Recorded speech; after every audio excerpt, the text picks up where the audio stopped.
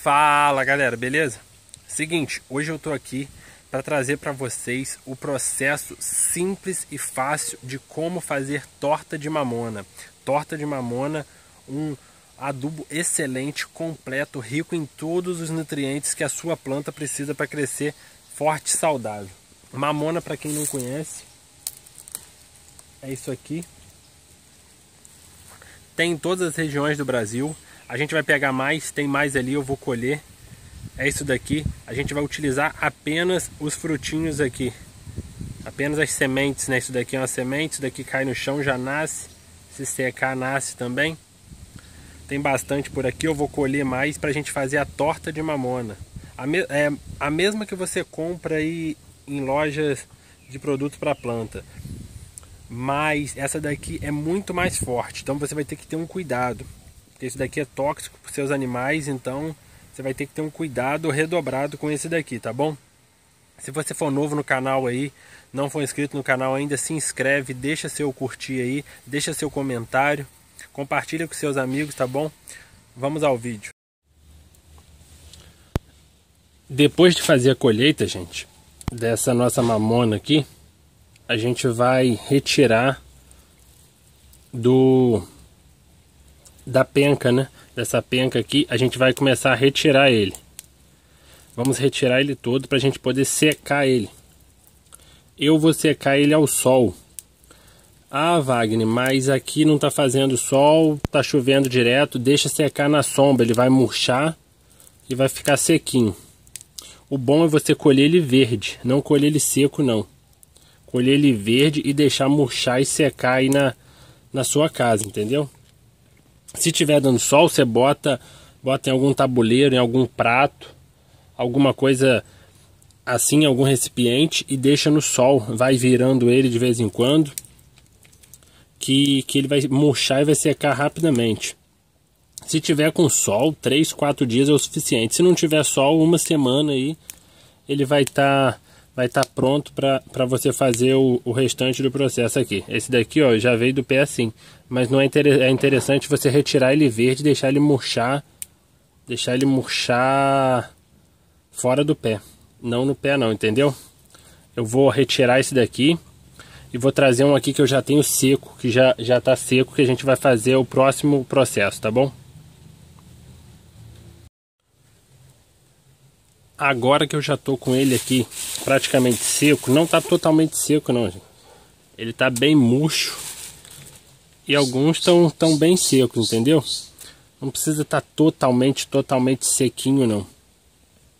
Agora a gente vai fazer o que? A gente vai pegar um tecido, pode ser uma camisa velha que você tem na sua casa, um martelo para a gente macerar essas sementes. Gente vai colocar aqui. E vai macerar. Vai fechar. E vai bater aqui, ó. Vai bater nessas sementes. A gente vai retirar um pouco do óleo, né? Que vai sair um pouco do óleo. Não precisa sair totalmente o óleo não, tá bom, gente? A gente vai macerar até elas ficarem totalmente quebradas. Ó, já começou a quebrar as sementes. Vocês vão quebrar e vou mostrar o ponto que ela vai estar tá quebrada para vocês. Vou terminar de quebrar ela aqui e volto com ela já quebradinha. O processo é simples. Fechou aqui, vai quebrando. Depois vai botando mais e vai quebrando. Vou voltar com ela aqui já pronta, já quebrada para a gente aplicar na planta, tá bom?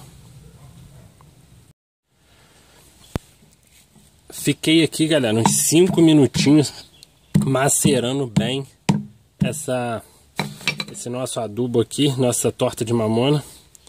E olha a, como ele ficou. Ficou assim, ó. Acho que tá dando para vocês verem bem. Ficou bem triturado. Ó, bem triturado.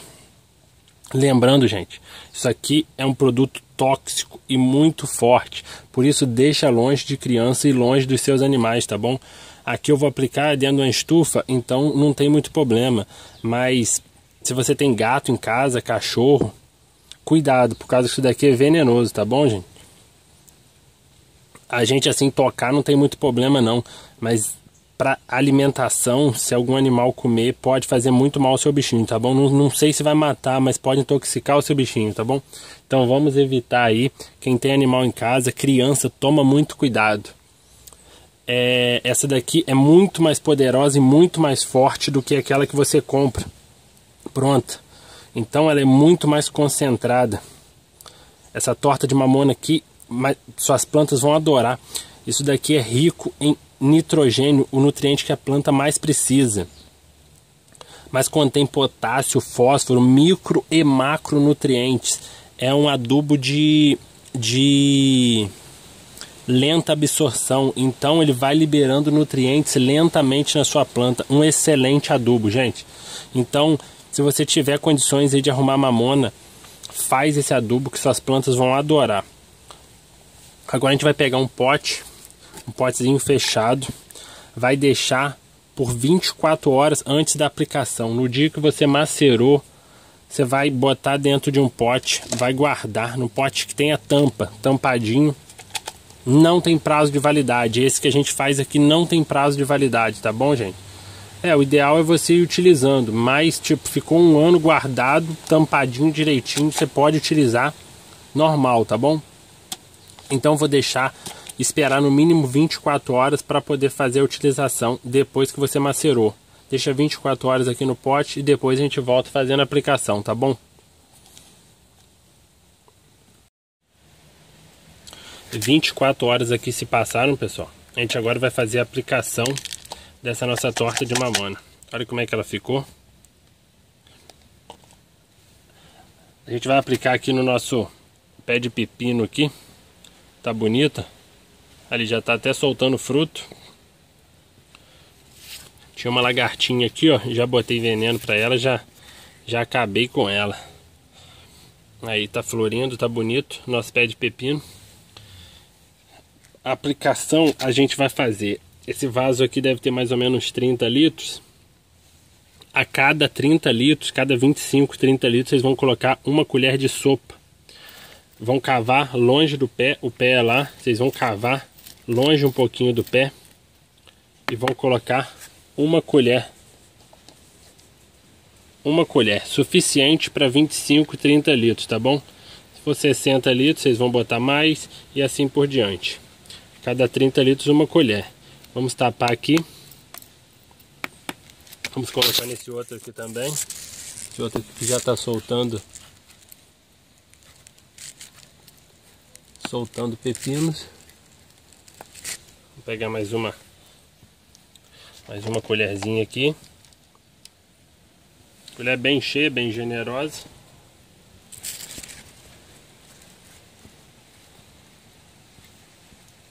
longe do pezinho, tá não gente? Se vocês colocarem em excesso, isso daqui é muito poderoso isso daqui vai matar sua planta se for em excesso aqui, outro frutinho aqui tá bem bonito nosso nosso pé de pepino aqui. Então é isso aí, galera.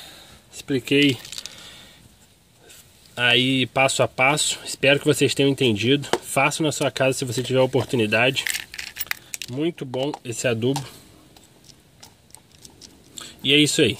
Espero que vocês tenham gostado do vídeo. Se não for inscrito no canal, se inscreve, deixa seu comentário aí, deixa seu gostei. Breve a gente vai colher esse, esse pepino aqui junto, tá bom?